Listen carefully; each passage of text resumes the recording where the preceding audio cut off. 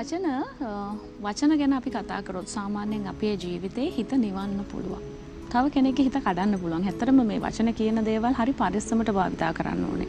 මොකද අපි උදෑසන අවදි වුණාට පස්සේ කෙනෙකුගේ හිතක් සුවපත් කරන්න පුළුවන් මට්ටමක මානසික මට්ටමක් හදාගෙන තිබුණොත් ජීවිතේ අද දවස සපුර ගන්න පුළුවන් කමක් තියෙනවා. මොකද උදෑසන කාලයේදී අපි ලොකු නින්දකට පස්සේ අවදි වෙනවා. ඒ අවදි වුණාට පස්සේ අපිට කරන්න තියෙන බොහොමයක් ජීවිතේ කාර්යයන් තියෙනවා. ඉතින් ඒ නිසා ඒ දේවල් සපුර ගන්න අපේ හිතේ සතුට තියෙන්න ඕනේ. සතුට ලං කර ගන්න නම් අපිට එදින එදිනෙදා ජීවිතේ මුණ ගැසෙන මිනිසුන් බොහොම සුන්දර විය යුතුයි. ඒ නිසා අපි අපි අපි නැතුව මම කියන කෙනාගෙන් ජීවිතේ පටන් ගන්න. එතකොට හැම කෙනෙක්ගෙම ඔබේ ඉදිරියට මුණ ගැහෙන කෙනාට ඔබට පුළුවන් නම් සුන්දර හිනාවක්, සුන්දර වචනයක් තිල්න කරන්නට අද දවස අපි හැමෝටම සුවපත් කරන්නට හැකියාව තියෙනවා. ඉතින් ආදරණීය ජීවිතයෙන් බොහෝ දේවල් ගැන ජීවිතයට තිල්න කරන්නට අපි සූදානම්. අපිත් එක්ක ඔබ රැඳෙනවා නම් ඔබට අද දවස බොහොම සුවදායි දවසක් වෙන්න කියන ප්‍රාර්ථනාවත් එක්ක අපි වැඩසටහන ආරම්භ කළා තියෙනවා. අපේ වැඩසටහනේ පළවෙනි විශේෂාංගයට අපි යන්න සූදානම් වෙනකොට බොහෝ සෙයින්ම අපි මෙතුමන් එක්ක කතා බහ කරනකොට හිත නිවෙනවා. විශේෂයෙන්ම අද දවසේ අපේ වැඩසටහන අපි ආරම්භය ගන්නේ පුංචි දරුවන් එක්ක.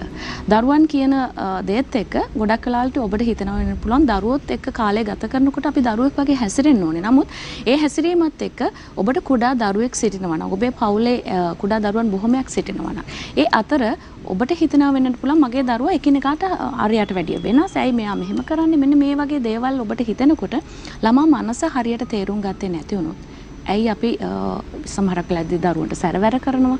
නමුත් ඒ දරුවන්ගේ හිතේ ඇති වෙන දේවල් සිතිවිලි අපි හරියාකාරව තේරුම් ගැනීම වැදගත්. ඒ නිසා අපි ළමුන් හඳුනා ගැනීම අද දවසේදී කතා බහ කරන්නට සූදානම්. මම බොහොම කැමැත්තෙන් එතුමන් එක මේ කතා බහ ආරම්භ කරන්නට කැමතියි. මානව හැකියා විශේෂඥ පුහුණුකරු සනත් ගමගේ මහත්මයා ආයිබෝන් ඔබතුමාට. ආයිබෝන්. අපේ කතා බහ අපි ආරම්භ කරනවා. පුංචි දරුවන් ඉන්න හැම කෙනෙකුටම ඔබට මටත් ඒ හැම කෙනෙකුට මේ ගැටලුව තියෙනවා. මොකද දරුවෙකු හරියට අපි හඳුනා ගැනීම වැදගත්. කොහොමද මේ දේවල් සිද්ධ විය යුත්තේ මූලාරම්භය? අපි හුඟක් වෙලාවට ෆෝමැට් එකක් බලනවා මේ මේ දරුවා මේ වගේ වෙන්න ඕන කියලා. කියන්නේ දැන් අම්මා කෙනෙක් විශේෂයෙන්ම අම්මටයි තාත්තටයිනේ ඔය ප්‍රශ්නේ තියෙන්නේ. ඊළඟට තියෙන ගුරුවරුන්ට. එතකොට අම්මගේ කුසට දරුවෙක් ආපු වෙලේ ඉඳලා අම්මගේ ඔළුවේ තියෙන පළවෙනි ප්‍රශ්නය තමයි මෙයා කොයි වගේ කෙනෙක් වෙයිද? අම්මා හරි කන්සර්න් මේක ගැන. දැන් අම්මා හැබැයි ඔතනින් එහාට ගිහලා චුට්ටක් ප්‍රොඇක්ටිව් වුණොත් ඒ කියන්නේ අම්මා ටිකක් අම්මට පුළුවන් ඕන જાතිය දරුවෙක් හදාගන්න. ඕන જાතිය දරුවෙක් හදාගන්න පුළුවන්. අපි ඒක වෙනම දවසක කතා කරමු. කොහොමද ඒ කියන්නේ දැන් අම්මා විශේෂයෙන්ම හැමදාම උදේට දැන් උන ටෙලිවිෂන් බලන්න පුරුදු වෙලා හිටියොත් එහෙම ඒ දරුවා ඉපදුනන් පස්සේ දරුවටත් ෆෝන් එකයි ටෙලිවිෂන් එකයි ඕනි. එයාගේ ඇස් දෙක එකන විශුවල් එක කන් දෙක කියන දේ හුඟක් බ්‍රේන් එක ඩිවලප් වෙලා තියෙන වැඩි. ද අම්මා ප්‍රෙග්නන්් කාලේ අම්ම හුඟක් ගණන් හදලා වැඩ කරලා හිතලා තියෙන කෙනෙක් නම් එයාගේ සිතුවිලිවල ශක්තිය වැඩි ඒ දරුවගේ.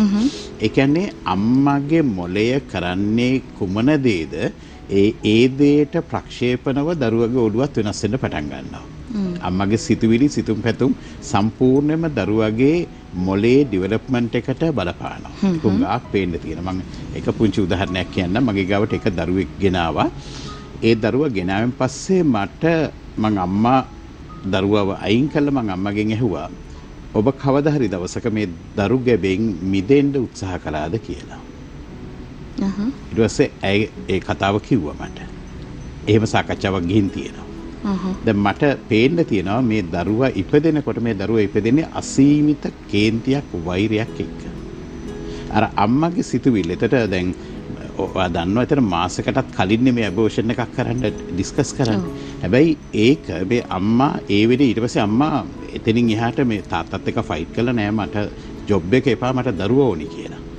ඒ ගුවන් සේවිකාවක් ඉතින් ගුවන් සේවිකාවක් ඉඳලා දරුවා තියාගන්න බෑ. ඇයට ජොබ් එකෙන් අයින් වෙන්න වෙනවා. හැබැයි මේක බලපානවා දරුවට. හැබැයි ඊට පස්සේ මම ඇයට යෝජනා කර මෙන්න මේ මේ මේ ක්‍රියාමාර්ග ටික ගන්න දරුවට කොහොමද දරුවට මෙත් වඩන්නේ දරුවට මෛත්‍රී කරන්නේ ඒ ටික කියලා දුන්නාන් පස්සේ දැන් අම්මයි පුතයි දැන් බොහොම සන්තෝෂෙන් ඉන්නවා. අර වෛරය දරුවගේ හිතේ තිබුණ වෛරය නැති වෙලා. කියන්නේ අම්මා හිතපු විදිය අම්මා කරපු විදියට අනුව දරුවා වෙනස් වෙනවා. එතකොට අම්මාගේ ප්‍රක්ෂේපණය ඇත්තන අම්මා හිතාගෙන ඉන්න මගේ දරුවා මේ වගේ වෙන්න ඕනි කියලා. එහෙම නොවුනන් පස්සේ තමයි ප්‍රශ්නේ තියෙන්නේ. ඒ කියන්නේ ටෙක්ලා මගේ ගාවට දැන් ওই බුද්ධි පරීක්ෂණයට දරුවෝ 5000ක් විතර දැනට ඇවිල්ලා තියෙනවා කරලා තියෙනවා. මට අද වෙනකල් හම්බෙලා නැහැ කිසිදු දරුවෙකු ඒ කියන්නේ ඔටිසම් තියෙන දරුවෝ හම්බෙලා තියෙනවා ඩවුන් සින්ඩ්‍රෝම් තියෙන දරුවෝ හම්බෙලා තියෙනවා හැබැයි මම විශ්වාස කරන මට දැකලා තියෙන මගේ අත්දැකීමේ හැම දරුවෙක්ම මේ ලෝකෙට උපදින්නේ යම්කිසි දක්ෂකමක් එක්ක එයාගේ ජීවිතය පවත්වා ගන්න අවශ්‍ය කරන ශක්තිය අරගෙන ඉපදින්නේ. කිසිදු දරුවෙකු ආබාධිතව උපදින්නේ නැහැ. දැන් අපි ඇස් දෙක පේන්නේ නැති එක ආබාධිත විදියට කියන එක ආබාධිතකමක් නොවේ. ඒක විශේෂ අවශ්‍යතාවයක් විතරයි. ඒ හින්දා ආබාධිත කියලා දරුවෝ නැහැ. මන්දබුද්ධික කියලා දරුවෝ නැහැ. ඒ මන්දබුද්ධික දරුවෝ කියලා අපි සමහර වෙලාවට ඉස්කෝලේදී හඳුන්වන අම්මා තාත්තාත් හඳුන්වන මෙයාට ඉගෙන ගන්න බැහැ කියන දරුවන්ට ඉගෙන ගැනීමට එයාගේ ජීවිතේ පවත්වාගෙන යන්න යම්කිසි කුසලතාවයක් ඒගොල්ලෝ අරගෙන ඇවිල්ලා තියෙන්නේ. ඒකින්ද මේ විශ්වයේ ඒ කියන්නේ කරුම ගෙවන්න ඉපදිච්ච දරුවෝ නැහැ කියන එකයි මට කියන්න තියෙන්නේ. ඔබතුමා මේ සඳහන් කරන දේවල් අපි අපි දැන් අපේ පැත්තෙන් හිතුවොත් දැන් අම්මා කෙනෙක් තාත්තා කෙනෙක්ගේ සිතිවිලි ඇවිල්ලා දරුවා වෙනුවෙන් දියත් කරන්නේ මගේ දරුවා අනාගතයේදී බොහොම හොඳ දරුවෙක් විය යුතුයි කියන පරමාර්ථය. එතනදී අපි ගත්තොත් පාඩම් වැඩ කරන්න එහෙම නැත්නම් මොනම හෝ කටයුත්තකදී අපි විශේෂයෙන්ම මේ කාලේ ගත්තොත් එහෙම ෆෝන් එකක් භාවිතා කරන දරුවෙක් දැන් අපි දකින්න නැති තරමට මේ මේ සමාජය තුළ දැන් හරියට මේක දීප ව්‍යාප්ත වෙලා. ඉතින් ඒ නිසා මම කැමති දැනගන්න දැන් දරුවෝ අතර ෆෝන් එකක් නොදෙන්න අපි කියනවා දෙන්න එපා. ඕක දෙන්න නම් එපා. මොකද දරුවව නාස්ති වෙනවා කියලා. අනුමත කිරීමක් කරනවද දැන් මේ වගේ දෙයක් කරන්න එපා කියලා. කොහොමද දරුවා කැමති ඉන්නේ නමුත් ඒකට? ටෙක්ල මම මේ තාක්ෂණය මුලින්දලම ප්‍රමෝට් කරපු කෙනෙක් තාක්ෂණය මම හුඟ පාවිච්චි කරපු කෙනෙක් තාක්ෂණය මුලින්දල ප්‍රමෝට් කරපු කෙනෙක්. එතකොට හැබැයි පහුගිය කාලේ අපිත් සමහරට අපිට දැන් පේන්න පටන් ගන්නවා මේ විශේෂයෙන්ම තිබුණ නැති රෝග තත්ත්වයන් දැන් තියෙනවා. කියන්නේ අපි සමහරට කියනවා PAD phone addiction disorder. ඊගවට කියනවා CAD chat addiction disorder. ඉතින් මේ වගේ GAD games addiction disorder.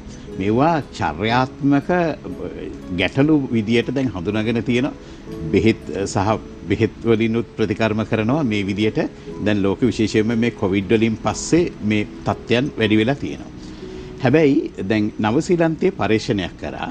මේ අවුරුදු 6ක දරුවෙක් අවුරුදු 6ක දරුවෙක් දැන් ඔබේ දරුවා වගේ අවුරුදු 6ක දරුවෙක්. අවුරුදු 6ක දරුවෙකුගෙන් අපි කියමුකෝ අපි අහනවා කියලා මේ ඔකේ ලෝකේ තියෙන උසම කන්ද මොකද්ද කියලා. එයාට එකපාරට උත්තරේ ඉවරස්ට් කියලා එන්නේ නැහැලු. දැන් නවසීලන්ත ඉන්න දරුවන්ට. එහෙනම් මොකක්ද දෙන්නේ? එන්නේ Google ගෙන් අහන්න ඕන වචන ටික මොකද්ද කියලා. ඒ කියන්නේ ඒ දරුවන්ට අර උත්තරේ ඔළුවේ ස්ටෝ කරලා ගබඩා කරලා තියාගැනීමේ අවශ්‍යතාවයක් නැහැ. එයාට අවශ්‍ය කරන එයාගේ මොලේ කියන එක දැන් ප්‍රොසෙස් එකක්. එයාගේ මොලේ ක්‍රියාත්මක වීමේ යන්ත්‍රයක්. එයාට අවශ්‍ය කරන තොරතුරු සියල්ල එයා Google ගෙන් ගන්න දන්නවා. මේක විශේෂයෙන්ම කියන අර බුද්ධ පූර්ව වර්ෂ බුද්ධ වර්ෂ වගේ ක්‍රිස්තු පූර්ව ක්‍රිස්තු වර්ෂ වගේ before Google after Google කියලා. මේ පැහැදිලිව ගැප්ස් දෙකක්. After Googles ඒ කියන්නේ කලිනු තල්ට විස්ටා මේ Yahoo වගේ engines තිබුණා. හැබැයි මේ Google වල කරපු වෙනසත් එක්ක මේ තාක්ෂණයේ තිබුණු වෙනසත් එක්ක දැන් අපේ මොලේ හැඩ ගැහිලා තියෙනවා මොකක් හරි ප්‍රශ්නයක් ආපු වෙලේ ඕකේ Google ගෙන් අහන්න ඕනේ මොකද්ද කියන එක. ඒ අහලා තමයි තීරණය කරන්නේ. දැන් ඔන්න එක මේ කුරුණෑගලට දරුවෙක් ගෙනාවා මගේ ගාවට අම්මා කෙනෙක් ගෙනාවා. අම්මා ගෙනල්ලා ඊට පස්සේ මම දැන් දරුවා නැතුව අම්මගෙන් තාත්තගෙන් අහනකොට මේ අම්මා තාත්තා මට කියනවා මට ඕන කරන්නේ මේ දරුවා ෆෝන් එකට ඇඩික්ට් වෙලා ඉන්නවා. මට කොහොම හරි මේක නවත්තලා දෙන්න. ඔබතුමාට පින් සිද්ධ වෙයි මොන විදිහකට හරි මට මේක නවත්තලා දෙන්න. ඉතින් ෆෝන් වලට ඇබ්බැහි වෙච්ච දරුවෝ මං හුඟක් දෙනෙකුගේ ෆෝන් වලට තිබුණ ඇබ්බැහි වීම නවත්තලා තියෙනවා. ඒක කරන්න පුළුවන්. ඒක කළ හැකි දෙයක්. හැබැයි මම මේ අම්මට කිව්වා සමා වෙන්න. මට ඒක කරන්න බැහැ ඔබේ දරුවට නම් ඒක කරන්න බෑ මම එහෙම කරනවා නම් මං කරන්නේ අපරාධයක් කියලා. ඊට පස්සේ අම්මා කියන දැන් ඔබතුමා මොනවාද එහෙනම් මේ මාධ්‍ය වලට ඇවිල්ලා කියන්නේ මේ මේවා කරන්නේ ඇයි? ඇයි මේ ළමයට එහෙම කියන්නේ කියලා. ඊට පස්සේ මම කිව්වා මේ දරුවාගේ තියෙන්නේ මේ දරුවා අපි කියනවා රිවර්ස් ටයිප් තින්ක කෙනෙක් කියලා. මේ රිවර්ස් ටයිප් තින්ක කියලා කියන්නේ එයා විප්ලවකාරී අදහස් සහිත සම්මත රටාවට වඩා වෙනස් විදියට හිතන්න පුළුවන්. හැම දෙකම ගුප්ත පැත්ත හොයන්න පුළුවන් රහස් තැන් හොයන්න පුළුවන් විදිය මොලයක් තියෙන දරුවෙකු. මොකද මේ දරුවෙකුගේ මොලේ සම්බන්ධ ගත්තම මට සාමාන්‍ය මන් දරුවෙකුගේ මීටර්ස් විතරක් එක එක කියවීම විතරක් 38ක් විතර තියෙනවා. ඒතකොට 38 කම්බිනේෂන්ස් ගත්තම ඇත්තටම ලක්ෂ ගානක කම්බිනේෂන්ස්. ඒතර මම දරුවෙකු මගේ ගාවට ආවෙන් පස්සේ මට විනාඩි 5 10ක් 15ක් සමහරට යනවා. මම ටියුන් වෙන්න අර දරුවගේ මොලේ තියෙන පැරාමීටර්ස් ටික හරියට අඳුර ගන්න. මට සැහැණ වෙලාවක් යනවා ඒකට. මම මේ වෙලාව ගියන් පස්සේ මට අඳුරගන්න පුළුවන් මේ දරුවා මොකටද ඉපදිලා තියෙන්නේ මොකක් වෙනුවෙන්ද මේ දරුවා තියෙන්නේ කියලා. මොකද මම මට පේන මේ දරුවගේ සුවිශේෂම දේ මේ දරුවට පුළුවන් ඕනම සිස්ටම් එකක් හැක් කරන්න. ඕනම සිස්ටම එකක් හැක් කරන්න පුළුවන්. එතකොට එහෙම දරුවෙකු අපි ඇයි පුංචි කාලේ ඉඳලා එයාට ෆෝන් එක නොදී ඉන්නේ. මං මං පස්සේ අම්මට කියලා මම ඊට පස්සේ දරුවා ගෙනල්ලා මං එහෙව පුතේ ඔයා ඇත්තටම මට කම්පියුටරයක් දුන්නාන් පස්සේ ලොක්ස් දාලා දුන්නාම ඔයා මොකද කරන්නේ? ඊට පස්සේ අම්මා ඔන්න එතකොට කට ඇරලා අම්මම කියනවා අනේ සර් ඉස්කෝලේ ටීචර්ත් කියන්නේ මොන විදියටම සිස්ටම්ස් දාලා පාස්වර්ඩ් දාලා දුන්නත් බැහැ මෙයත් එක තියාගන්න. මෙයක් කොහෙන් හරි අර පාස්වර්ඩ් ටික කඩනවා කියලා. එතකොට දැන් මේ දරුවගේ දරුවට ෆෝන් එකක් අල්ලන්න දෙන්න එපා කියපු වෙලේ ඉඳලා දරුවට මොකද වුනේ? දරුවා වැඩ කරන්නේ නැහැ. දරුවා අම්මත් එක්ක කේන්ති වෛරයෙන් දැන් ඉන්නේ. මොකද එයාගේ ජීවිතේ යට තෘප්තියක් තියෙන්නේ මේ සිස්ටම්ස් කඩා බිඳ දැමීමෙන්. ඊට පස්සේ මම ඇත්තටම මම ඒ දරුවත් එක්ක මම කතා කළා මම මෙයාගේ දක්ෂකම් අඳුරගෙන හැබැයි මට ඕන උන්නේ මෙයාව හැකේ කෙනෙක් කරන්න. මට මම ඊට පස්සේ මම මේ පුතත් එක්ක මම කතා කරලා කිව්වා පුතේ වාට බැරිද හැකස්ලගෙන් එන ඇටැක්ස් වලක්වන්න පුළුවන් මට්ටමට ඔයාට මේක ඩිවලොප් කරන්න පුළුවන්. ඔයාට ඇන්ටිවයිරස් පැකේජ් එකක් හදන්න පුළුවන්. මේ වගේ දේවල් කරන්න පුළුවන්. ඉතින් මම ඊට පස්සේ මම මේ අම්මට තාත්තට කතා කරලා කිව්වා ඇත්තටම පුළුවන්කමක් තියෙනවා නම් හතේ පන්තියට එනකොට දැන් හතේ පන්තියට එනකොටම පටන් ගන්න පුළුවන් දැන් දැන් හරි පටන් ගන්න මෙයාට IT ඩිග්‍රී එකට යන්න. මෙයාට මොකටද O levels? මෙයාට මොකටද A levels? එයාට O levels A levels system එකට ගියන් පස්සේ එයා ඒ කියන්නේ එයාට ගණන් එයා හදන්න ගියත් එයා ගණන් හදන්න එයාගේ විදියකට විතර ඉස්කෝලේ හදන විදියකට නෙමෙයි. එතකොට ඉස්කෝලේ පේපර් එකේ එයාට ලකුණු හම්බ වෙන්නේ ඉස්කෝලේ ටීචර් කියපු සිස්ටම් එකට හැදුවොත් විතරයි. හැබැයි රිවර්ස් ටයිප් තින්කර්ස්ලා කියලා කියන්නේ ඒගොල්ලන්ගේ විශේෂයෙන් තව සමහර කොටසක් වෙනවා ගණන් ඒගොල්ලන්ට ගණිතයට ප්‍රශ්නයක් ආවපු ගමන් එයාට උත්තරේ එනවා ටෙක්ලා. ඒ උත්තරේ එන්නේ ලෙෆ් බ්‍රේන් එකෙන් නෙමෙයි රයිට් බ්‍රේන් එකෙන්. එතකොට අපේ ඉස්කෝලේ අපේ ඉස්කෝලවල විභාග ක්‍රමය ඇතුලේදී තියෙන මේ ලෙෆ් බ්‍රේන් එකෙන් උත්තර ගන්න පුළුවන් ළමයිට ලකුණු හම්බෙන ක්‍රමයක්. කියන්නේ පිළිවෙල තියෙනුනේ පිළිවෙල තියාගෙන ගියම ස්ටෙප්ස් වලට තමයි ලකුණු හම්බෙන්නේ. අවසාන උත්තරේ විතරක් දාලා තිබ්බොත් පරීක්ෂකවරයෙක් මොකද කියන්නේ? මෙයා කොහෙන් හරි කොපි කරලා. මෙයා අන්තිම උත්තරේ කොපි කරලා තමයි දාලා තියෙන්නේ. හැබැයි මේ රයිට් බ්‍රේන් එකේ දරුවෝ එහෙම නැත්නම් මේ out of the box thinkers ලා ඒගොල්ලන්ට ප්‍රශ්නේ කියපු ගමන් ඒගොල්ලන්ට උත්තරේ එන උත්තරේ එන්නේ කොහෙන්ද ඒගොල්ලෝවත් දන්නේ නැහැ. අපි ඒකට කියනවා මේ මෙන්න මෙතන ඔළුවේ මේ ඉන්ටියුෂන් කියන එක. ඒ කියන්නේ සහජ බුද්ධියක් සහජ ඉවක් තියෙන උත්තරේ ගන්න. දැන් මේ දවස්වල තියෙන ප්‍රශ්න විචාරාත්මක වැඩසටහන් රූපවාහිනිය එහෙම සමහරලාට ඔබ දැක්කම පේනවා ඇති. ඒගොල්ලෝ කියනවා මට මේක නිකන් හිතුණා. මට මේක තමයි උත්තරේ කියලා හිතුණා. එතකොට සමහර දරුවෝ ඉන්නවා ඒගොල්ලෝ පාඩම් කරන්න අවශ්‍ය නැහැ මේ උත්තරේ ගන්න. ඒගොල්ලන්ට මේ බුද්ධිය පාවිච්චි කිරීම විතරයි තියෙන්නේ මේවා මේ গুপ্ত දේවල් නෙමෙයි. එතකොට ඒ එක එක දරුවාගේ බුද්ධියේ තියෙන ස්වභාවය අඳුරගෙන එයාට උගන්වුවොත් එයාගේ ජීවිතයට අවශ්‍ය කරන පාර හදලා දුන්නොත් කිසිම අම්මා කෙනෙකුට තාත්තා කෙනෙකුට තමන්ගේ දරුවගේ අනාගතය පිළිබඳ බය වෙන්න ඕනේ නැහැ. මේ මෙහෙම ඔබතුමා කතා කරනකොට හරි පැහැදිලි. ඒ කියන්නේ ඒ පැහැදිලි බව විනිවිද බව තමයි අපි අපේ දරුවන්ට ලබා දෙන්න උත්සාහ කරන්නේ. නමුත් අපේ අම්මලාට එහෙම නැත්නම් අපේ තාත්තලා මේ හැම කෙනෙකුටම තියෙන ගැටලුව තමයි දරුවා වෙත ඒ පාර පාර හොයාගන්න සමහර තැනකදී වුන් දැන් දරුවා දක්ෂ වෙන දෙයකට නමුත් යොමු කරන්නේ වෙන දෙයකට මෙතනදී අර දෙමව්පියන් දරුවන් අතර ඝට්ටනයක් ඇති වෙන්න හේතුව වෙන්නේත් මේ කාරණාව නේද? ඔබතුමා වෙත දරුවන් යොමු කිරීම තුළින් හැකියාවක් ලැබෙන දරුවා කොයි තැනද ඉන්නේ කියන කාරණේ. ඒ නිසාම අපි එතනට යමු මොකද මං හිතන්නේ මේ මේ කාල වේලාවේදී අපි බලාගෙන ඉන්න කෙනෙකුට හිතෙනවා වෙන්නට පුළුවන් අපේ දරුවෝ අපි ළඟ හැදෙනවට වැඩිය තව කෙනෙක් ළඟ ඔබතුමා ළඟට දරුවෙක් යොමු කරාට පස්සේ ඒ දරුවාගේ මාර්ගය මොකක්ද කියලා අපිට තේරුම් ගන්න හරි ලේසි. ඒ මාර්ගය හොයලා දෙන්න කොහොමද අපිට අපේ දරුවෝ ඔබතුමා වෙත යොමු කරොත්?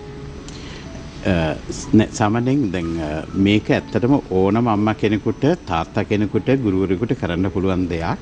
එතොට ඒගොල්ලන්ට ඒකනේ මම හුඟක් වෙලට දන්න දෙයක් තමයි ටෙක්ලා දැන් මගේ ළඟට ආවන් පස්සේ මම මේ පිළිබඳව කරපු පර්යේෂණයි මං ඉගෙන ගත්ත දේවලු මේ සියලු දේ පාවිච්චි කරලා මම දරුවෙකු පිළිබඳ ඉගෙනගෙන එයාට සොලියුෂන් එකක් එයාට විසඳුමක් දෙනවා. ඒ විසඳුම දුන්නම එන අම්මලාගෙන් 70ක් විතර ඒ අම්මලා අනේ සර් මම ඕක කිව්වනේ මේ පුතාට කියලා කියනවා. ඒ කියන්නේ හැම අම්මා කෙනෙකුටම තමන්ගේ කුසට දරුවෙක් ආපු වෙලේ ඉඳලා චුට්ටක් හිතන්නේ අම්මගේ සිතුවිලි වෙන වෙනස්කම. අර දුවලා පැනලා ඇවිදපු අම්මා කෙනෙක් අම්ම වෙන්න කලින් කෙල්ලෙක් විදිහට ඉන්න කාලේ කසාද බැන්දන් පස්සෙත් ඕන දෙයක් කාලා ඕන දෙයක් බීලා බොහොම සන්තෝෂෙන් දුව පැනලා හිටපු කෙනෙක් කුසට දරුවා ආපු වෙලේ ඉඳලා වෙනස් වෙනවනේ. ඇවිදින්නේ කුස ගැන හිතලා මේ දරුව පරිසං කරන්න ඕන කියලා හිතලා. කොච්චර රස කෑම හම්බුණත් කන්නේ මේ දරු ගැබට හොඳ දෙයක්ද කියලා හිතලා. නිරෝෂගේ සින්දුවේ කියන වගේ දුවෙද්ද පුතිද්ද කියලා දන්නේ නැහැ. හැබැයි දන්නේ නැතුව ආදරය කරන්න පටන් ගන්නවා. අම්මගේ ඔළුවේ අසීමිතව මේ දරු ගැබ ආරක්ෂා කරන්න තියෙනවා. දරුවා ඉපදෙන වෙලේ දැනිච්ච වේදනාව අත් දහතුනක් කැඩුවට සමාන වේදනාවක් කියලා කියන ස්වභාවික දරුවපතකදී. හැබැයි දරුවා අඬනකොට අම්මා පුදුමාකාර අම්මගේ සෙනෙහ පිරෙනවා මේ දරුවාගේ හඬ ඇහුණ ගමන්. අම්මට කිරි එරෙන ඔක්සටොසින් අම්මගේ ඔළුවේ හැදෙනවා. අම්මා කෙනෙක්ගේ ඔළුවේ තියෙන්නේ මේ දරුවා පිළිබඳව අසීමිත සෙනෙහසක්. මේ සෙනෙහසට පුළුවන් මේ දරුවා වෙනුවෙන් කරන්න පුළුවන් හොඳම දේ මොකක්ද කියලා එක ඕනම අම්මා කෙනෙකුට සහජ ඉවෙන් දන්නවා අම්මා කෙනෙක් වද වෙන්නේ නැතුව ඉන්නවනම්. අම්මලා හුඟක් වෙලාට අපේ අම්මලා පුරුදු වෙලා තියෙනවා වද වෙන්න. ඒ කියන්නේ අනේ මන් දන්නේ මොකක් වෙයිද කියලා. මොකද මේක ඉස්කෝලේට ගිය ගමන් පේරන්ට්ස් මීටින් එකට ගිය ගමන් ටීචර්ස්ලා මොකද්ද මේ ළමයා කියලා ඔන්න කියන්න පටන් ගන්නවා. මොකද ළමයාගේ ලකුණු 90ට 95ට වැඩිය ළමයේ ගත්තේ නැත්නම් ටීචර්ස්ලා හිතාගෙන ඉන්නවා ඒක ටීචර්ස්ලාගේ දුර්වලකමක් කියලා ටීචර්ස්ලා මොකද කරන්නේ බෝලේ පාස් කරන අම්මලාට. ඇයි මේ ළමයා වැඩ කරන්නේ නැත්තේ කියලා. දැන් ඔන්න මෙතනින් එහාට දැන් මේ ප්‍රශ්නේ තියෙන්නේ ලකුණු 90 95 ගත්තේ නැහැ කියන ප්‍රශ්නේ විතරයි. විතර. හැබැයි ජීවිතේ ජය අරගෙන තියෙන්නේ ශිෂ්‍යත්ව විභාගයේ ඉහළින්ම ලකුණු ගත්ත ළමයිද? විභාගයේ ඉහළින්ම ලකුණු ගත්ත ළමයිද? ඉස්කෝලේ අන්තිම පෙළේ හිටපු අන්තිම පස් දෙන්න අතර ඉන්න කට්ටිය බලන්න ඉස්කෝලේක ගිහිල්ලා OB එකට ගිහිල්ලා මේ OG එකට ගිහිල්ලා බලන්න ඒගොල්ලෝ තමයි වැඩිම කන්ට්‍රිබියුෂන් එකක් දීලා තියෙන සමහරට ඉස්කෝලේට වැඩිම සල්ලි වලින් දීලා තියෙන්නේ. මොකද මූල්‍යමය ශක්තිය අතින් ඒගොල්ලෝ උඟක් වෙලාට ඉස්සරහින් ඉන්නවා. දැන් ඔන්න එක දරුවෙක් ගෙනාවා ඉස්කෝලේ යන්න බෑම කියලා මේ පහුගිය දවසක වැඩසටහනකට බලංගොඩ ඉඳලා දුවෙක්. මේ දුවගේ අම්මයි තාත්තයි දැන් පුදුම දුකක් ඉඳලා මොකද මේ ළමයාව තියන්න බෑ. අවුරුදු 6ක දරුවෙක්.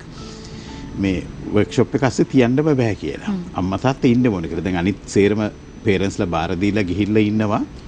මෙයා යන්නෙම නැහැ. ඉතින් දැන් මමත් මගේ ස්ටාෆ් එකේ සියලු දෙනාත් මේ දරුවට හුඟක් ආදරෙන් කතා කරන මං කිව්වා ඕනට වැඩිය එයාව පෙට් කරන්න යන්න එපා. එයාට හුරතල් කරන්න යන්න එපා.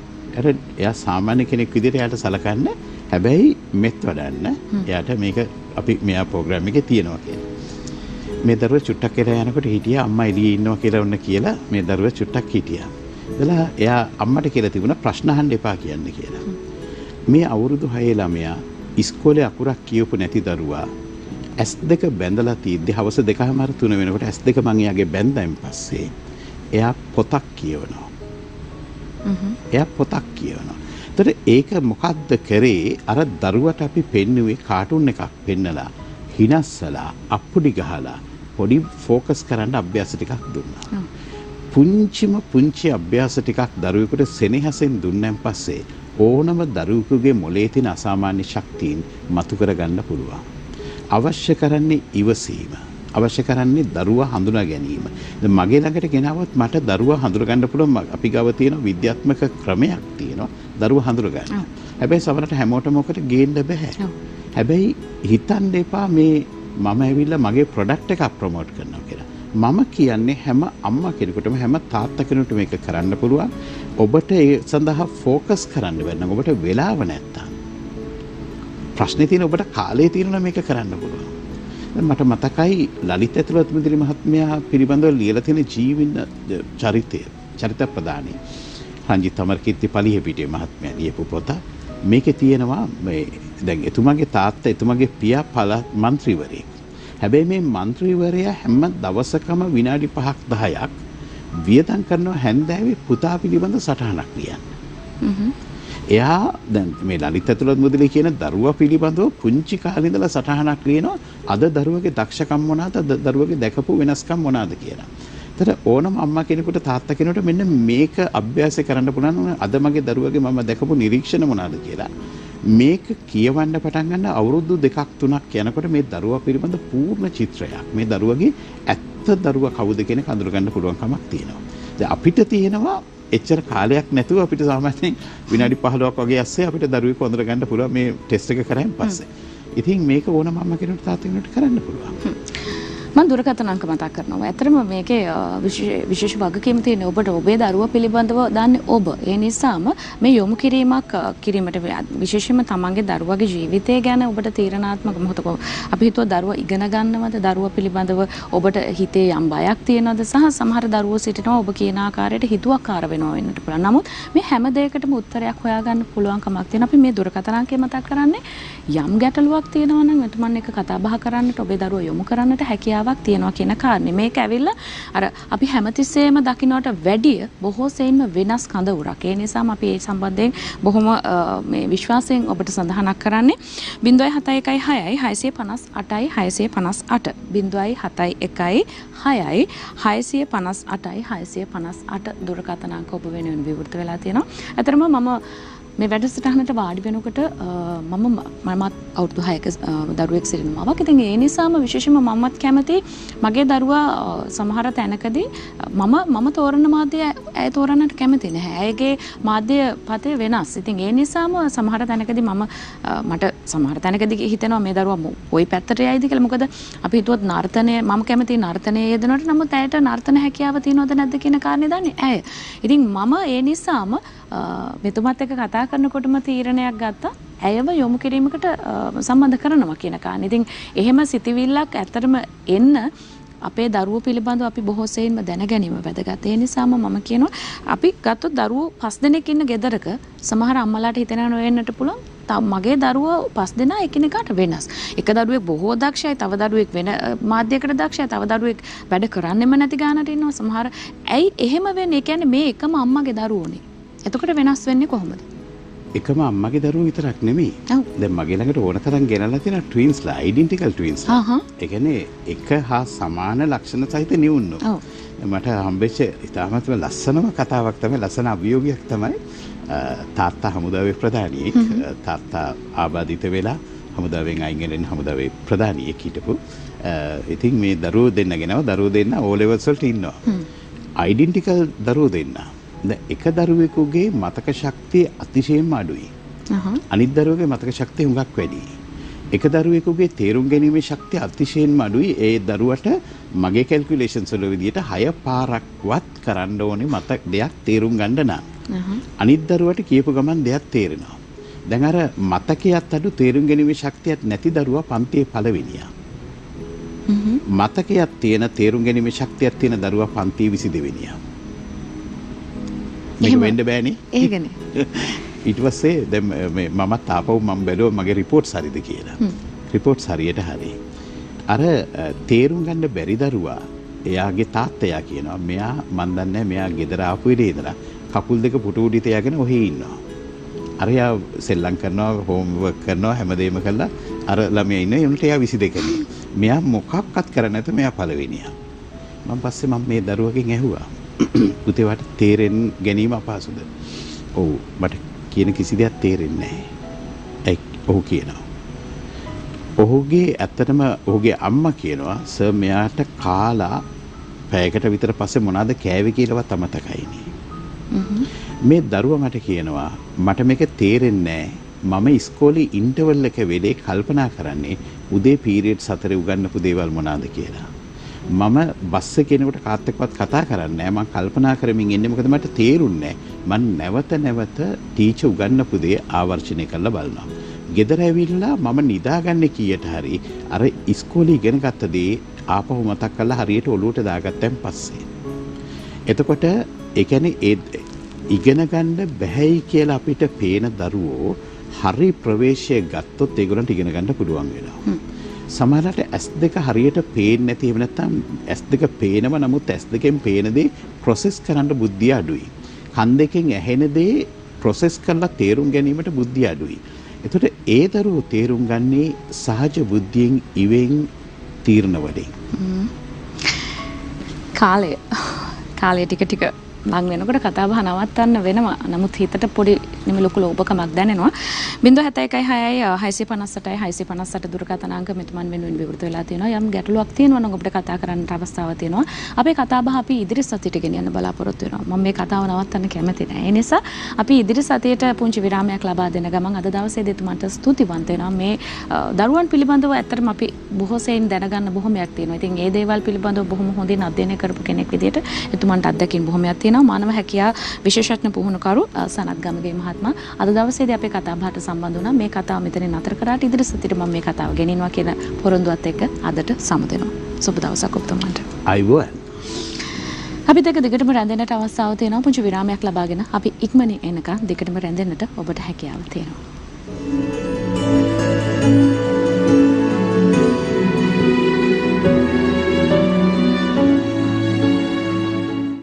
දිනපතා අලුත් වීඩියෝ සහ ප්‍රවෘත්ති නැරඹීමට ඉහත බටන එක කලික් කර සියත TV සබස්ක්‍රයිබ් කරන්න.